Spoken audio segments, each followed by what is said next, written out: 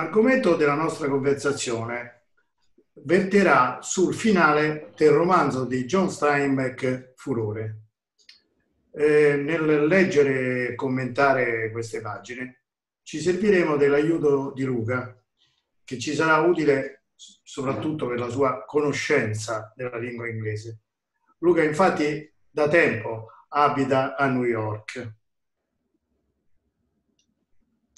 Sì, eh, Bruno, ciao e, intervengo volentieri oggi. Furore è un romanzo che lessi uh, da ragazzo e mi colpì molto, soprattutto lo straordinario finale di cui parleremo oggi.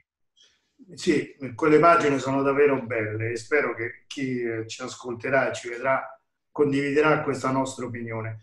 Io penso che queste pagine, a rileggerle, possono farci del bene soprattutto nella condizione, nella situazione in cui ci troviamo. Fra io qui a Roma e tu a New York c'è di mezzo l'oceano, però in questo momento credo no, siamo accomunati da una identica situazione esistenziale. Questa situazione la conosciamo tutti, no? è questo improvviso cambiamento, radicale cambiamento del nostro modo di vivere, delle nostre abitudini, di tutte le nostre coordinate spaziali e temporali. E questo ci provoca naturalmente, pensando soprattutto al futuro, tutta una serie di preoccupazioni, direi addirittura di angosce.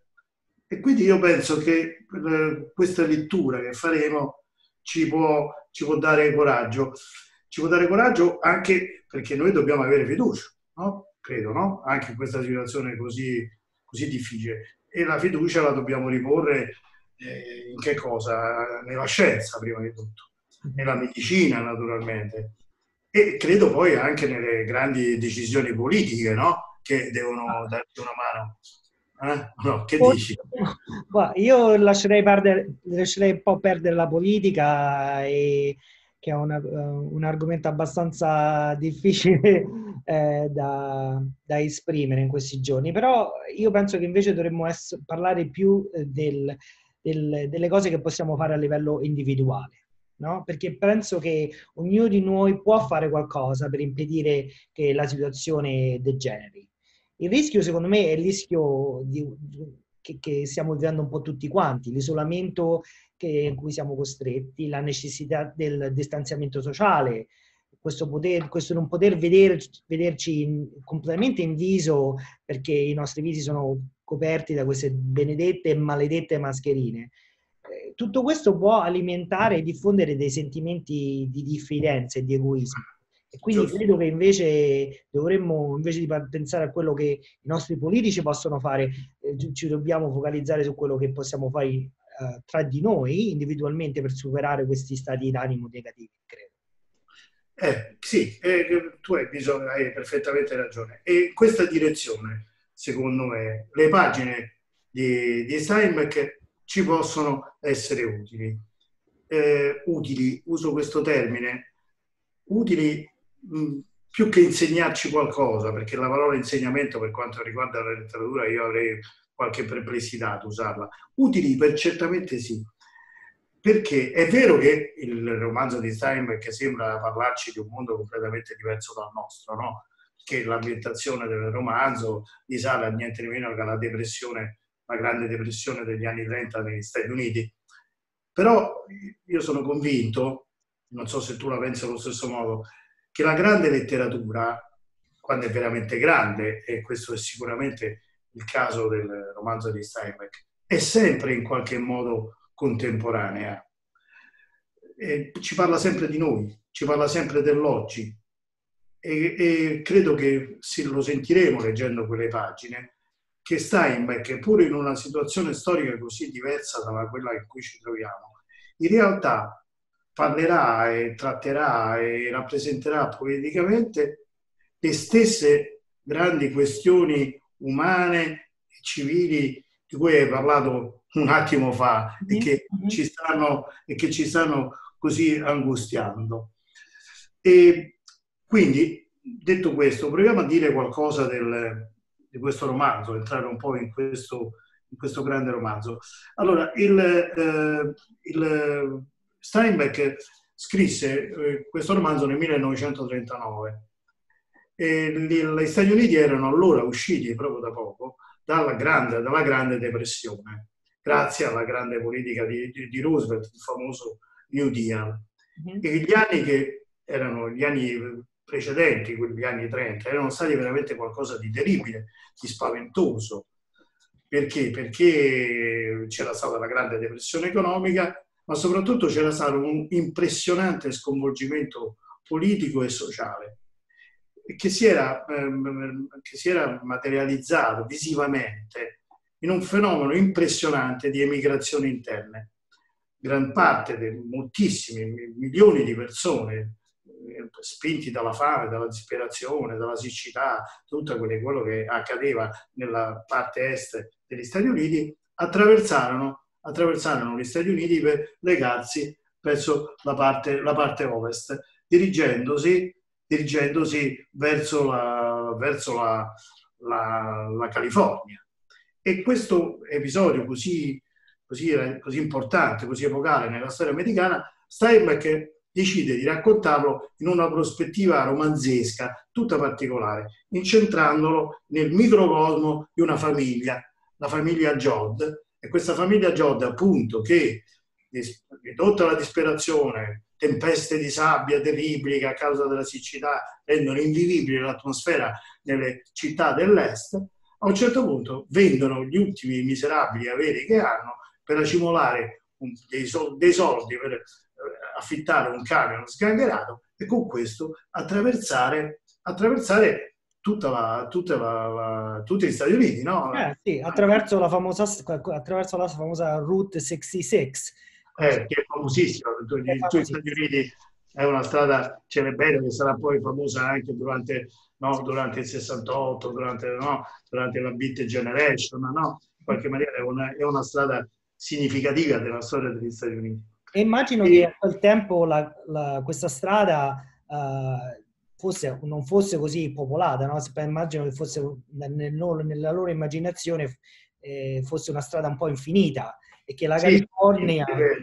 E la California appare eh, davvero no? in questo momento proprio perché è così lontana e così sconosciuta in fondo per chi veniva dall'est, gli appare veramente come in una specie di, di terra promessa, no? Mm. Eh sì, è una vera e propria terra promessa. C'è un'atmosfera biblica in tutto il romanzo. Sì. E in questo senso poi ne parleremo anche man mano che leggeremo. Questa atmosfera biblica eh, ha a che fare anche con il, titolo del romanzo, vero? Sì, sì, eh, eh, eh, ci siamo dimenticati appunto di dire che in inglese questo, questo romanzo di, uh, questo romanzo di, uh, di Steinbeck è, uh, si chiama The Grapes of Wrath, che letteralmente vuol dire grappoli d'ira o grappolo dell'odio, ed allude ad un passo dell'Apocalisse, dell'Apocalisse durante il quale l'angelo sterminatore taglia le vigne degli uomini. Esatto. E nel 1940, quando questo uh, questo romanzo fu tradotto in italiano, uh, venne semplificato con il titolo Furore, forse pensando che ai lettori italiani l'allusione biblica forse non sarebbe stata molto comprensibile. E ancora oggi il romanzo è stampato in Italia con quel titolo lì, eh? non c'è. Più la, la, la, corretta traduzione dell'originale inglese. Quindi allora, detto questo, proviamo a indicare perlomeno qualcuno dei personaggi principali del romanzo. Allora, questa famiglia Jod è composta dal papà, dalla mamma, e, e che, che, a loro volta hanno due vecchi genitori, il nonno e la nonna, e cinque, e cinque figli. Questi cinque figli, di cui il più, il più grande, Tom, il primogenito, è appena tornato dalla, dalla, dalla galera perché a causa di una rissa in cui aveva ucciso senza volerlo una persona, sta in libertà vigilata, diciamo così. E dopodiché c'è un altro ragazzo che il secondo genito, che è un bravo ragazzo che ha la testa sulle spalle, poi c'è una ragazza che è Rosatea, la quale è sposata ed è incinta e come vedremo partirà proprio con il marito durante il viaggio. In più ci sono due bambini piccoli che appunto sono gli ultimi, gli ultimi diciamo così, nati di questo matrimonio, come vedete, molto ricco di figli. Quindi questi partono tutti quanti e come dicevamo si, si accingono in questo terribile viaggio. Durante questo viaggio ovviamente è spaventoso, lungo, pieno di incognite, c'è una, addirittura una traversata del deserto e durante questo viaggio il nonno e la nonna, i due vecchi che a stento sono stati portati via dalla, da, dalla terra dalla quale non si volevano staccare, muoiono. Quando, eh, quando la famiglia arriva in California invece altro che terra promessa, avranno una terribile delusione perché appena arrivati lì ci si rende conto che eh, questi milioni di persone che si, sono, che si sono andati verso Occidente non trovano affatto la terra promessa, ma trovano tutta una serie di, di, di difficoltà, eh, vengono sottopagati, è proprio la solita questione dell'immigrazione no? che conosciamo bene e che Steinbeck racconta in un modo che fa veramente pensare a certe circostanze della nostra, della nostra contemporaneità. Sono sottopagati, vengono, eh, vengono, eh, devono, devono, continuamente cambiare posto per trovare lavoro e in più sca- si scatena fra questi gruppi di persone che cercano lavoro e soprattutto con la presenza sempre dei profittatori, del caporalato, no? che in qualche maniera no, li utilizza sempre a, a costi e a, a, e a, salari sempre più bassi, si scatenano delle liste dei contrasti sociali e durante questi contrasti sociali avviene proprio che Tom, che dovrebbe stare in guardia perché naturalmente è sotto libertà vigilata, che ha già guadagnato una sua coscienza politica di ribellione nei confronti di questa situazione, a un certo punto è costretto, è coinvolto in una lista ed è costretto ad abbandonare la famiglia. Quindi la famiglia rimane senza questo punto di appoggio fondamentale, la mamma in particolare è terrorizzata da pensare che fine farà il, il povero Tom e la situazione precipita. La situazione precipita perché a un certo punto arriva la stagione delle piogge e la famiglia Jod è costretta insieme ad altri ad adunarsi in una serie di baracche, l'acqua arriva, sta per montare e mentre tutto in questa condizione così drammatica Rosadea, la ragazza incinta cui marito tra l'altro nel frattempo si è scappata via, poverina, e, mm, è incinta e partorisce. Partorisce in questa condizione terribile e il bambino nasce morto. E questo è il punto in cui cominciano le pagine famose che fra un po' leggeremo. Sì, e, e prima di leggere le, le, pagine di cui stai parlando, eh, penso che sia interessante dire qualcosa sul film che John Ford uh, trasse dal romanzo di Steinbeck, un anno proprio dopo, nel 1940, eh, con lo stesso titolo originale del romanzo, Grapes of Wrath. Il film è, come immagino uh, uh, sei d'accordo tu, è un capolavoro. Ah, è un film straordinario. È forse il capolavoro di un grandissimo regista che è appunto John Ford e incoraggiamo se, se, se nessuno se, se, non hanno ancora visto i nostri, i nostri le persone che ci stanno vedendo a guardarlo su YouTube assolutamente è, gra- è, è comunque passato un sacco di volte in televisione quindi io penso che prima o dopo va però rivisto per intero e completamente eh? sì. ed è gratuitamente su, su YouTube quindi le persone Beh, guardare e, però è interessante capire che Ford per ragioni che poi capiremo cambiò il finale eliminando la scena dell'inondazione di cui stai parlando. E Ford chiude il film immaginando che il, il coming della famiglia degli Jod si avvia con la speranza di trovare delle condizioni migliori eh, dove, dove, stanno andando e Ford mette bocca, sulla bocca della mamma del, un messaggio di protesta ideologicamente molto forte ma anche aperto poi alla speranza. Sì, il Ora, finale davvero una, ha una prospettiva ottimistica non dimentichiamo che John Ford in questo modo fa anche una sorta di omaggio al New Deal rooseveltiano che ideologicamente lui aveva sostenuto e approvato. E allora cerchiamo di, ve- di vedere il, la fine di questo film. Ah, possiamo vedere quest'ultima scena. Questo è il finale del film di John Ford.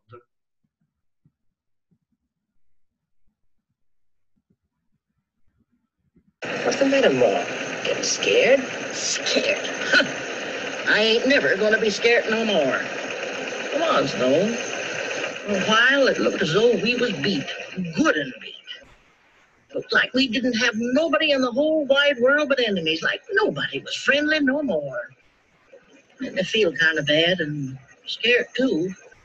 Like we was lost and nobody cared. You're the one that keeps us going, Mama.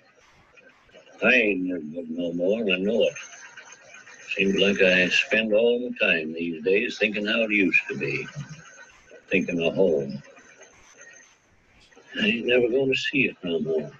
Well, Pa, a woman can change better than a man. A man lives sort of, well, in jerks. Baby's born or somebody dies, and that's a jerk. He gets a farm or loses it, and that's a jerk. With a woman, it's all in one flow like a stream. Little eddies and waterfalls, but the river it goes right on. Woman looks at it that way. Uh, maybe. We sure taking a beating. I know. That's what makes us tough. Rich fellas come up and they die, and their kids ain't no good and they die out. But we keep a coming. We're the people that live. They can't wipe us out, they can't lick us. We'll go on forever, Pa, because we're the people.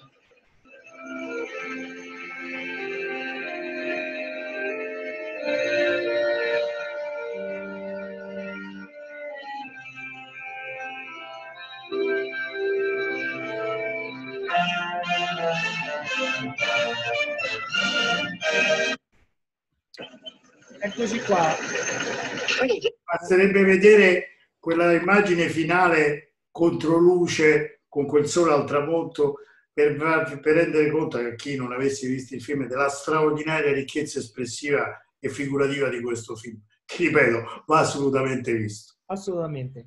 Eh, ho dovuto però tradurre i sottotitoli perché questa ultima scena non è stata mai doppiata. Non è Semplicemente, stata mai doppiata. Eh. Eh, semplicemente perché nel 1952, quando il film arrivò in Italia, eh, fu proprio tagliata dal film.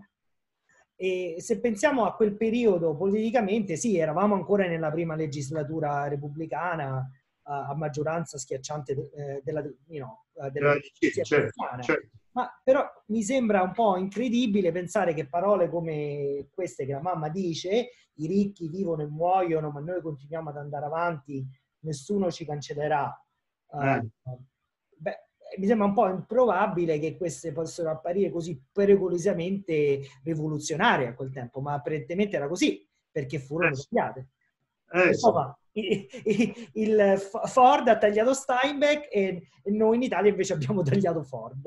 E va bene, che avviene sempre così, però è molto più grave no, il, il taglio che abbiamo fatto noi, no? Eh, che davvero no, è incredibile no? che a distanza di tempo no? Sembra impossibile no? che quelle parole così in fondo eh, profonde e universali potessero suonare rivoluzionarie. Vabbè, questa era l'Italia degli anni 50, non rimpiangiamolo, eh? d'accordo?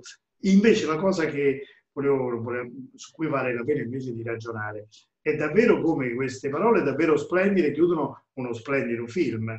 Però, eh, le- come abbiamo detto, il finale di Steinbeck è molto diverso e sotto certi aspetti è molto più bello e molto più profondo. E prima di arrivare a leggere le pagine che leggerai tu, eh, eh, rapidamente che cosa succede? Eh, ricordo c'è l'inondazione, Rosadea ha, ha partorito questo bimbo morto, l'acqua sta per arrivare a coprire tutta la baracca. A questo punto la mamma, che avete capito, no? è la realtà, la vera, la vera capofamiglia, no? si vede anche nel film di Forte, è la vera capofamiglia del- del- della famiglia Jod, prende l'iniziativa e, e spinge tutti gli altri a, a lasciare la baracca perché lei non vuole che questa ragazza puerpera che sta in quelle condizioni psicologiche e fisiche si, si ammali definitivamente. E allora i due entrano nell'acqua, cioè la famiglia entra nell'acqua e progressivamente le trasporta, eh, tra tutti quanti arrivano sulla, sulla, sul, diciamo all'asciutto, in un lembo di terra asciutta. A questo punto leggiamo la pagina che descrive questo momento.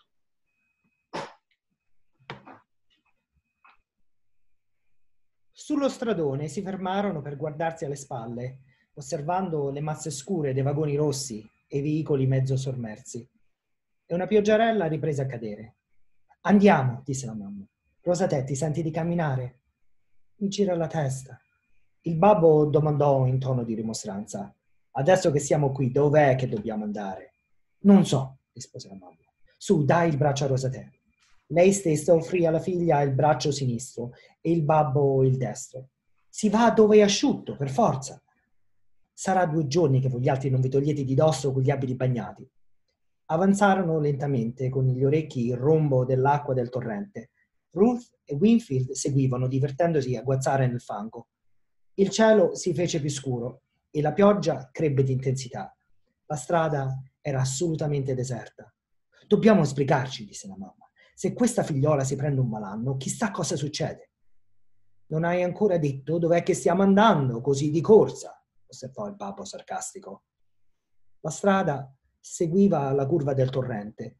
La mamma perlustrava con gli occhi i campi inondati. A qualche distanza, sulla sinistra, si intravedeva una stalla col tetto lucido per la pioggia che pareva alzarsi sopra un'ondulazione del terreno. Ecco là, disse la mamma. Scommetto che in quella stalla c'è asciutto. Possiamo fermarci lì finché smette di piovere. Il babbo emise un sospiro. Facile che ci scaccia il padrone. Ruth scoprì d'un tratto a pochi passi dinanzi, sul bordo della strada, una macchiolina rossa. Vi si diresse di corsa. Era un geranio ritardatario, maltrattato dalla pioggia. Lo colse con amorevolezza, ne staccò un petalo e se lo appiccicò sul naso. Winfield accorse per vedere. Me ne dai uno? disse. Niente affatto, è mio, l'ho trovato io. E s'appiccicò un altro petalo, un cuoricino scarlatto, nel mezzo della fronte. E dai, Ruth, dammene uno anche a me, lo voglio, insiste Winfield. E fece per strappare il fiore di mano a Ruth, ma Ruth ritirò la mano e con l'altra gli tirò uno schiaffo. Win- Winfield lì per lì rimase interdetto, poi le labbra presero a tremargli e gli occhi a luccicare. Gli altri sopraggiunsero. Che cosa avete fatto? domandò la mamma. È lui che voleva pigliarmi il geranio.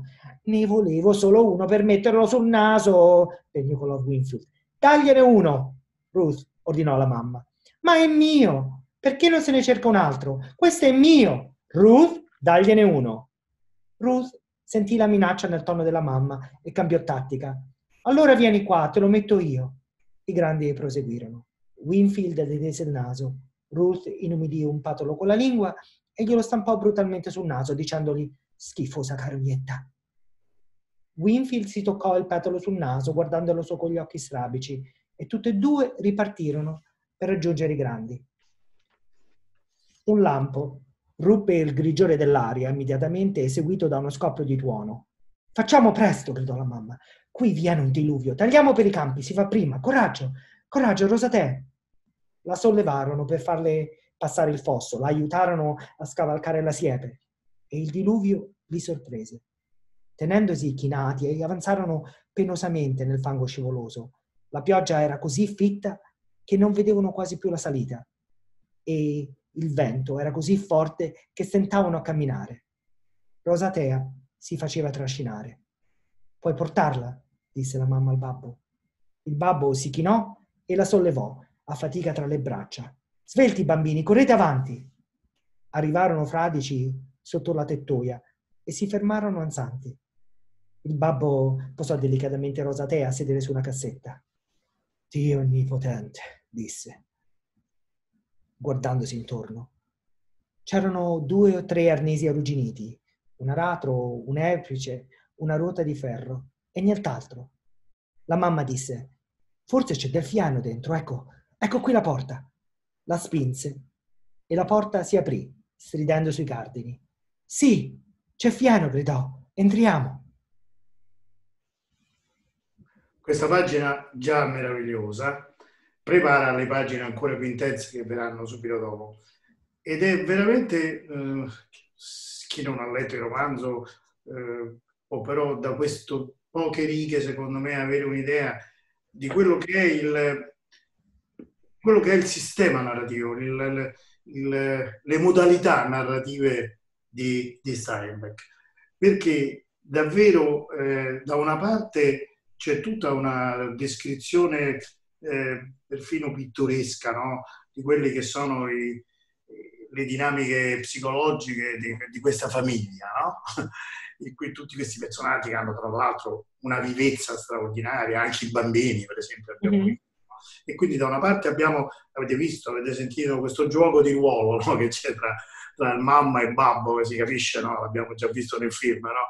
in realtà il padre non è il vero di famiglia, è il vero nucleo della famiglia, la vera colonna portante è naturalmente la mamma, la donna, e, e poi i bambini, le baruffe tra bambini, e poi avete anche il personaggio di Rosadea che malgrado quello che le è accaduto ha avuto una sua dignità, un suo coraggio, una sua, una sua forma di eroismo. Bene, tutto questo, questo, questo mondo, questo microcosmo familiare, avete sentito però di colpo, dentro il romanzo e dentro l'atmosfera del romanzo, assume una, una, un valore di universalità assolutamente impressionante. E, e, e, credo che avete sentito anche qui come questo passaggio, diremmo noi, dalla cronaca, a, a, come possiamo dire, alla storia, avviene attraverso proprio l'eco biblica in qualche modo. No? In fondo questa inondazione, questo vento, questa pioggia terribile, no? Che cos'è? È davvero una specie di diluvio universale, no? eh? Questo diluvio universale di cui la famiglia Jod, questi derelitti che vengono scaraventati su questa, su questa spiaggetta, no? sono in fondo gli ultimi, sono i, derelitti, più derelitti, sono i, potremmo dire, per usare quasi un'espressione di Giovanni Verga, no? sono una specie di degli ultimi no? Che vengono buttati dalla marea della storia no? eh, che, che, che, la trascina con sé. Ma questo è il punto. Loro sono gli ultimi, sono dei derelitti, sono degli sventurati, ma fra un attimo lo vedremo. C'è qualcuno che è ancora più sventurato e derelitto di loro. E allora scopriremo come anche in queste condizioni spaventose i Jod, la famiglia Jod, può fare del bene, può essere misericordiosa. E questa è la pagina che adesso leggiamo.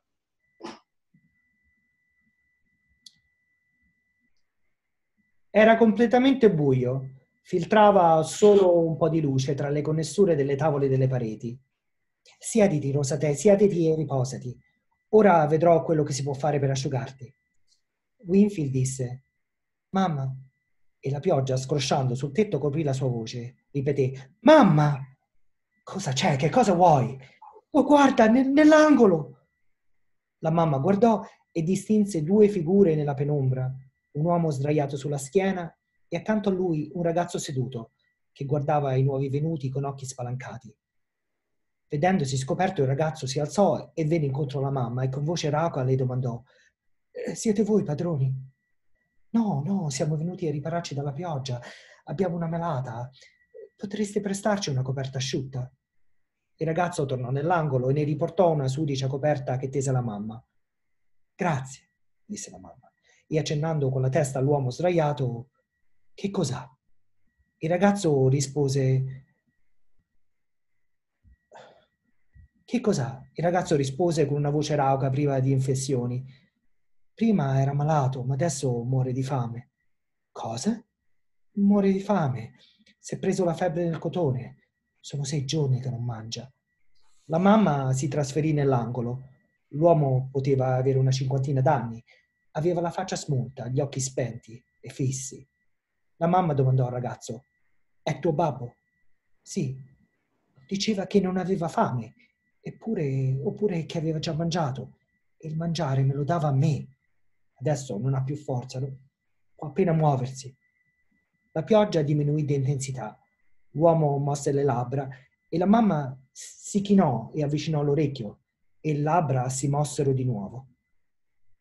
Certo, disse la mamma, pensiamo noi, state tranquillo, aspettate solo finché ho asciugato mia figlia. Tornò da Rosatea. Su, spogliati. E tenne la coperta in modo da ripararla dalla vista e quando Rosatea fu nuda, la coprì con la coperta sudicia. Il ragazzo venne di nuovo al fianco della mamma e spiegava, io non sapevo, lui diceva sempre che aveva già mangiato e che non aveva fame. Ieri sera sono andato fuori e ho rotto una vetrina ho rubato del pane. Gli ho fatto, gliel'ho fatto mangiare, ma lui l'ha vomitato tutto. E dopo era più debole di prima. Bisognerebbe dargli del brodo, del latte, Avete denaro per comprare un po' di latte? Zitto, non ti preoccupare. In qualche modo si provvede. D'un tratto il ragazzo gridò: Ma muore! Vi dico, muore di fame! Zitto, disse la mamma. Guardò il babbo e zio John che stavano in piedi vicino all'uomo malato, guardandolo con occhi impotenti. Poi guardò Rosatea, avviluppata nella coperta, e aspettò di incontrarne lo sguardo.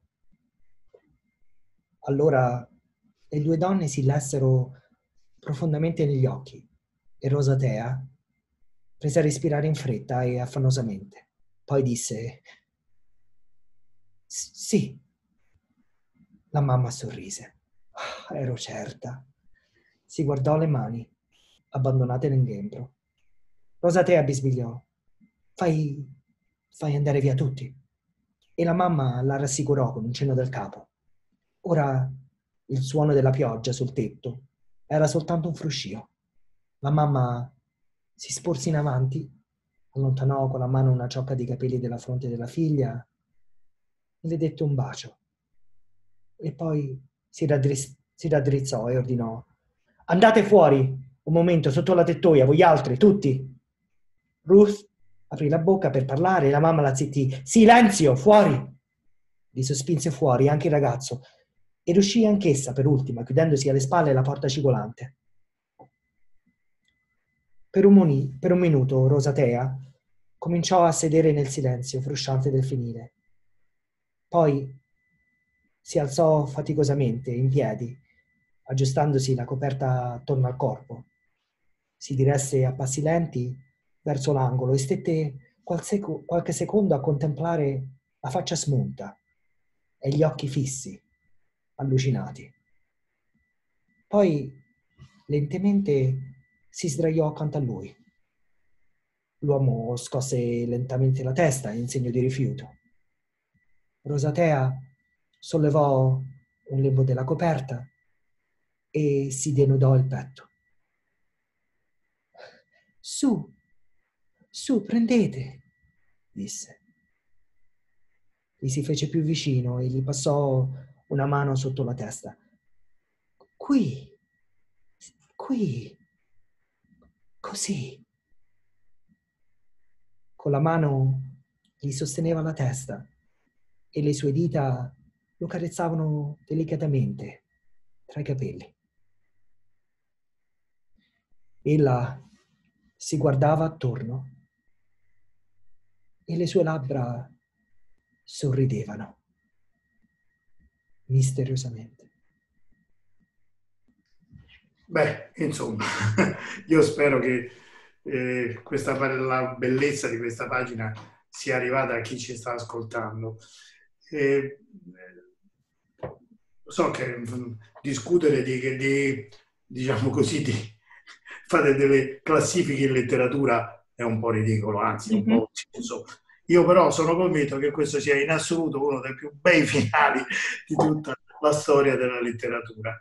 E spero che questo, in, chi l'ha ascoltato, sia riuscito a coglierlo, anche se devo dire, per cogliere interamente la bellezza di questa pagina bisogna aver letto tutto il romanzo. Perché?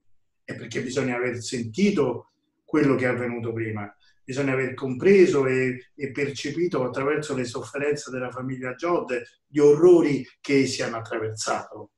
È una vera e propria apocalisse, ancora una volta in senso biblico, i due hanno i, la famiglia ha attraversato. Uno sconvolgimento totale di tutti i valori umani, di tutti i valori civili, dove l'egoismo, la, la, la solitudine, la, la violenza sembrano prendere il sopravvento. Ma proprio per questo, proprio perché siamo quasi a una, una sorta di eh, ritorno ad uno stato quasi, quasi selvaggio, no? dove appunto i valori umani sembrano cancellati e, stra- e per questo è straordinario quello che accade dentro questo fienile, perché nel buio di questo fienile, nel buio di questa stu- umile stalla, che cosa c'è? C'è la sopravvivenza, c'è ancora l'accendersi della luce dell'umanità della luce della pietà, della luce dei grandi valori dell'umanesimo, potremmo dire. Sono tre parolone questo, lo riconfesso, che hanno il rischio di, di, essere, di suonare un po' retoriche queste parole, però non sono retoriche perché, perché proprio il procedimento di, di Steinbeck, l'avete sentito, è esattamente un procedimento antiretorico. Perché? Perché questo, questa sopravvivenza di questo valore umanistico della misericordia viene espresso narrativamente attraverso la scena dell'allattamento, che è una scena incredibile, è una scena estrema, è una scena che infatti dovette apparire a John Ford quando dovette fare il film suo, dovette apparire scandaloso. Non se la sentì di girare negli anni 40 una scena di questo genere.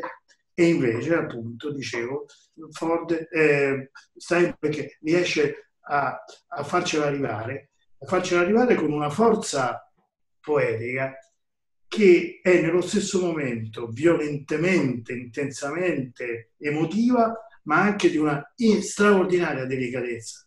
Avete sentito, per esempio, quello sguardo no?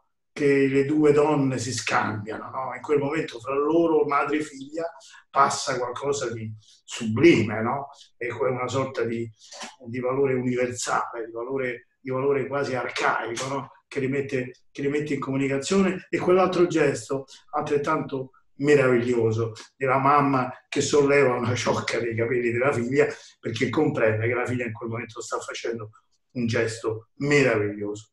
Questo gesto è un gesto in cui noi vediamo una quantità incredibile di cose, sono poche righe, ma dove veramente c'è di tutto.